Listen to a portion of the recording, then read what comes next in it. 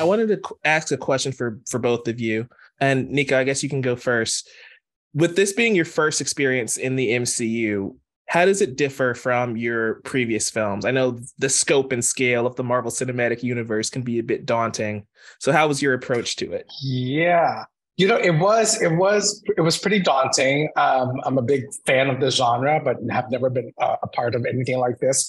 So I really um, honestly, I didn't know what to expect. How I guess I wasn't prepared to, to, see how grand of a scale it was. All like there were actual physical sets there. Yeah. It was. It was. I mean, I was. I was talking to Miriam and and Chuck about this. It's a. It was a lot like doing theater because of the scale of the sets and just yeah the, the grandness of everything and plus you know the characters that we play sort of were very theatrical to begin with so right. it really was sort of like um, you know, in, in a previous life, I, I used to work um, as a dresser for a theater company. So I for a Shakespeare festival, no less. So I really was kind of like, oh, this harkens me back to the days where I would be backstage, sort of like watching these great Shakespearean actors perform, and I would just be in the back, sort of like watching, you know. And because mm-hmm. Chuck and Miriam were so amazing in portraying these characters, like I had to snap out of it a couple of times and be like, you're in the scene with them. Like you're, you're working right now. Like be present, be present.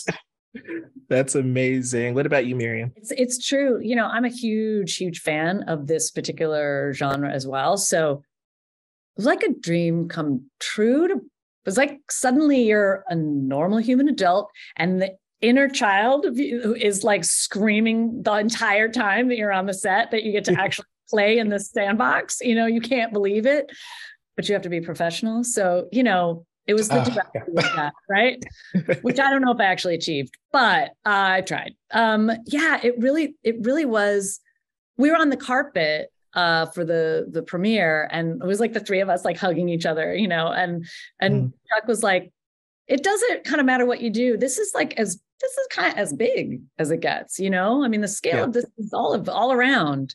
So like enjoy. It's like a nice yeah reminder to like remember to enjoy it because kind of what's the point if you don't? That actually leads to another question that I had uh, since you both were talking about your, your experience with Chuck, right? His his presence on screen in this film is so grandiose and so big. The High Evolutionary it, it, I love how he's able to, on like a dime, go from calm and collected to just like insane as the film goes on. What was it like kind of matching that energy or working off of him in those scenes? Well, I feel it's kind of like when you play tennis with someone who's really good, your game gets better. Mm-hmm. mm-hmm. That said, I'm terrible at tennis no matter what. Doesn't matter how good you are, I'm not going to be good. But in acting, uh, that's kind of how it feels, right? Like it gives you permission to uh, raise the stakes to the highest level, which is the most fun way to do it, you know? And so it's it, it everyone was so welcoming too. Do you find that Nico? Yeah. That just yeah, wasn't afraid to take to go for it. Right. Know? And I think with with James directing um Chuck's character, you know, like like Miriam said, it was kind of like a game of tennis. You were you were all of a sudden allowed to match this level and match the evilness and match the despicableness of, of the the world that we were living in. Um, we really took our cues from from Chuck. You know, it was that one um, the walk and talk scene that the three of us did, where truly, like that day, I was like, I can feel his seething anger just emanating from him. It, it's such a quiet rage that lives inside the high evolutionary. And I really like felt like in that scene, I was like, I think Chuck might kill me when James yells cut. Uh, yeah, but yeah. I also feel like how we did a lot of takes of that. I was like, have we walked like 15 miles down this one hallway? mm-hmm. I was like, I'm really getting yeah. like my workout. Today's a leg day. Yeah. oh, I was so nervous. I, that scene, I was so nervous for that scene. I, I don't know if you remember. I kept like fubbing my lines, and I was like, "I'm sorry. I swear to God, I've done this before." No, but just, I feel like it was the actual nervous. that worked so well for the energy because the truth is, this is a person who will create and destroy on a whim. Yeah. Yes. So, I mean, I'm sure we've all had bosses like that. Um, yeah. this is the worst boss ever. Like that's the t-shirt. Worst Yeah. boss ever. Yeah. Just like them right. and and the other the front. The, the high evolutionary wear Prada. Um, you know, That's that's the Disney Plus show we need right there. yes. One of the most standout scenes in the film for me is as we we're seeing more of the high evolutionary, you and the other people in the room eventually turn your guns on the high evolutionary. What was it like reading that part of the script when you're like, oh, we're gonna have a small revolt? Mutiny. Uh, I don't know if we're, are, we're spoiling it. I don't. Are we yes, to? spoilers are good. Eh, eh. Then I just disappear and you never hear from me again. No, um, I, I no, I, that moment. Are you kidding me? That was a fantastic. When I read that moment, I was like, I'm taking, I'm taking over the ship. I'm taking over the ship. Oh my god, I'm taking over the ship. Um, my space gun.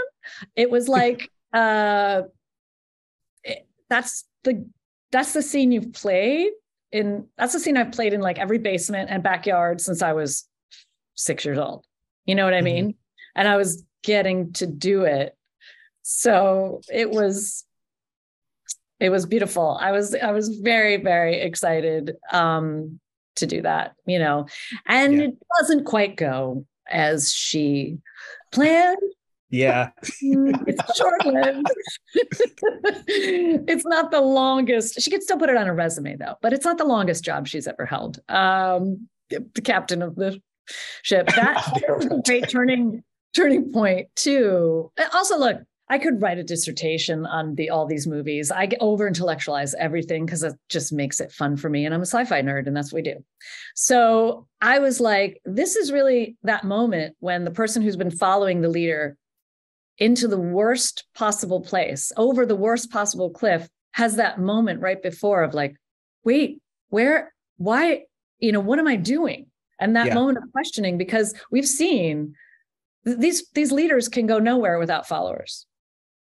Mm. And so what what allows a person or a being to follow a leader, the, the worst possible leader? And and when is the what is that moment like for them when they realize, oh my God, I'm I've led myself off the cliff. Like I've followed this person off the cliff. And so that moment was kind of fun to play where you're like, yeah, putting on the brakes. Nope, too late. Yeah. yeah. That's, I mean, I that's think that's- powerful. I think that's what I mean. At, at least the way I saw Recorder Theel was like, you know, he was for Theel, it was like survival at any cost, which is why he kept following um, the High Evolutionary and just following his orders and just being so loyal to him. But then he would be um, the cause of of our demise, which I Yeah. think is so ironic that um, yeah, that's that's how we that's how we go because of him. We're running out of time here, but uh, Nico, I did have one more question for you uh, regarding Theel. You become like the fixation for Star Lord. Once he finds out you can possibly get him the files to save Rocket, what was it like when you had to go against Star Lord and Groot? Like it got really intense there. It got very intense. That scene was also such a big um, day of shooting.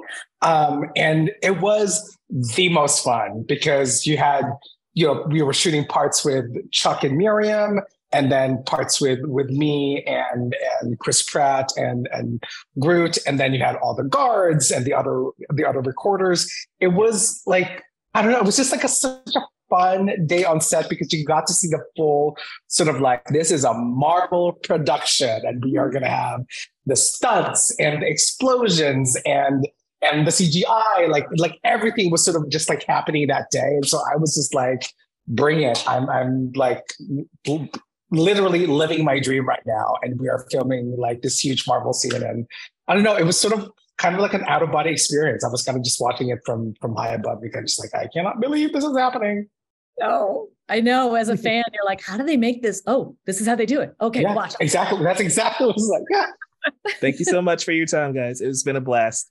Bye. Thank you.